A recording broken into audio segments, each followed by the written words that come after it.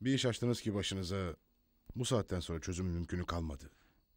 Bir yol çare bulunur belki ha buna. Ah oğlum. Sizden önce kaç kişi çıktı bu yola bilir misin sen? Kaç sevdalıya mezar oldu bu umut? Dinlemedin beni. Şimdi hem kendini yaktın hem de sevdiğini. Ne yaptıysak beraber yaptık biz. Suçlu varsa ikimiz de suçluyuz. Günah ikimizin günahı. Siz gönlünüz Allah sevgisini açmışsınız. Siz de mi anlamazsınız? Kusura bakmayın o aslında... Ne kusuru oğlum? Saygısızlık değil ona bu lafları söyleten. Yüreği. Dili söylemese gözleri anlatıyor zaten derdini, sevdasını. Bir yol gösterirsiniz diye belki size geldik ha buna. Başka akıl danışacak kimsemiz yok çünkü. Benim elimden ne gelir ki oğlum? Gidip konuşalım desem, yüzyılların kuralı bu.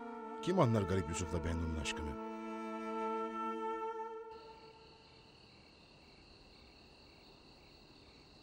Daha ne kadar kalacakmış burada? Bilmiyorum Hasan.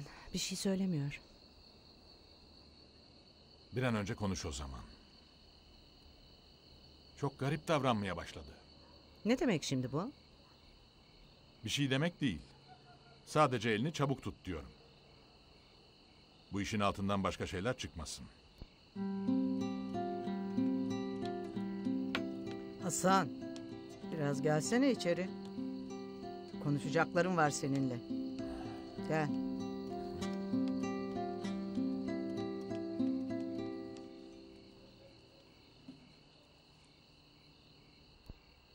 Ne olup bittiğini öğrenmek istiyorlar değil mi? Hepimiz istiyoruz Asya. Ben de bilmiyorum anne. Aklım karışık. Mustafa'nınki de öyle. Bu yüzden mi ayrıldın evden? Başka şeyler de var. Kocamla benim aramda kalması gereken. Zamanı gelince... Eğer gerekirse konuşuruz bunları. Ama zamanı gelince. Neyin var Asya?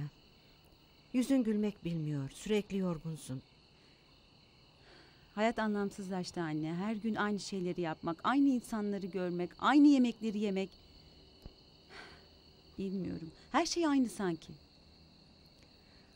Mutluluk emek ister Asya. Eğer aradığın buysa. Kalıcı olan, önemli olan gel geç heyecanlar değildir. Yan yana, el ele yürüyebileceğin, gerektiğinde yaslanabileceğin sağlam bir omuz bulmaktır. Evet ama Monotonluk olur. Her evlilikte olur. Ama canın sıkıldı diye bir evliliği bitiremezsin ki kızım. Üstelik ortada bir de çocuk var. Mustafa kadar iyi baba da az bulunur. Ona biraz haksızlık ettiğini düşünmüyor musun?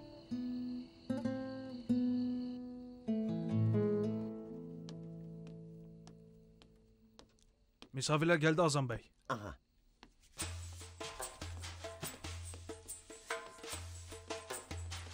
Koçum benim. Hoş geldin. Hoş geldiniz. Hoş bulduk. Hoş bulduk. Ya, Hoş bulduk. hoş geldiniz. Demek bu aileye gelin gideceğim. Geldiniz. Bilemezsin Dilan. E, hadi buyurun. Şöyle geçin. Şunlara bak. Sanki 40 yıllık akraba. Buyurun, buyurun. Ne çabuk sevdiler birbirlerini. Hadi Dilan. Aşağı inme vakti geldi.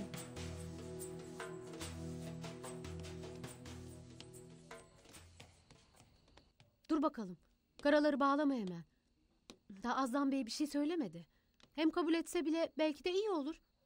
Bilemezsin ki. Kısmet işi bu. İnsan kaderini de kısmetini de kendi yazıyormuş yenge. Kader deyip bağlanmakla bir şey geçmez elimize. Bu kadar olana rağmen hala elimiz kolumuz bağlı oturmak. Yazımız böyleymiş demek ağır geliyor bana. Bıraksalar beni yazın başka türlü olurdu belki.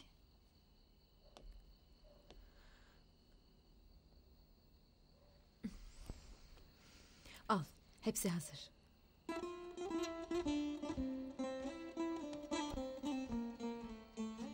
Dediklerimi aklından çıkarma Dilan.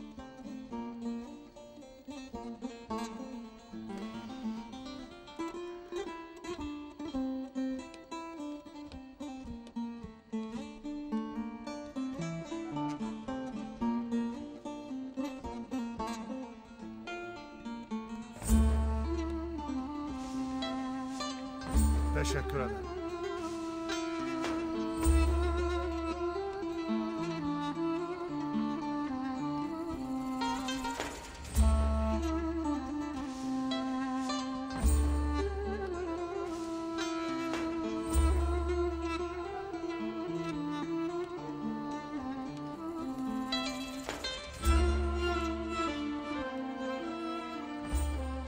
Azam Bey, ziyaretimizin sebebi hepimize malumdur. Senelerdir birbirimizi tanıyoruz. Lafı uzatmanın alemi yok. Dilan kızımızı daha bebekliğinden tanırım. Sana Fırat'ı da anlatacak değilim. Elinde büyüdü. Onu kendi evlatlarımdan ayırmadığımı bilirsin. Sağ olasın. İkisi de büyüdü. Evlenme çağına geldiler çok şükür. Yani lafın özü Allah'ın emri peygamberin kavliyle kızın Dilan'ı oğlum Fırat'a istemeye geldik. Sağ olasın. Ailemizi ziyaretin bana ve aileme şeref verdi. Lakin ben Dilan'ı evlendirmek düşüncesinde değil. Kızım Dilan'ı yeni gelin ettim. Onun ayrılık acısı hala içimizde. Bakın, Alaaddin Bey.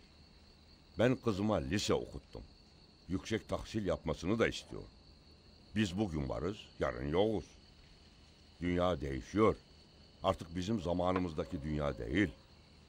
Lafın kısası kızım Dilan ayaklarının üstünde bir başına durmasını öğreninceye kadar kızımı evlendirmeyeceğim.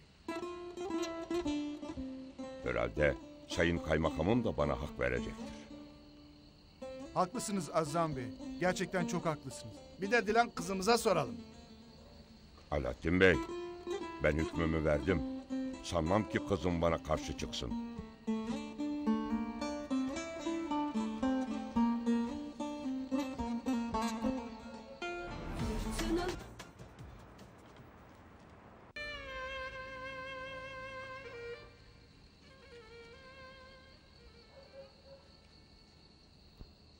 Azam Bey, bir sorun mu var? Korkarım var. Az önce Hasan'la konuştum. Evdekiler iyi değil mi? Onlar iyi. Mesele nizar. Mahkeme yüzünden mi?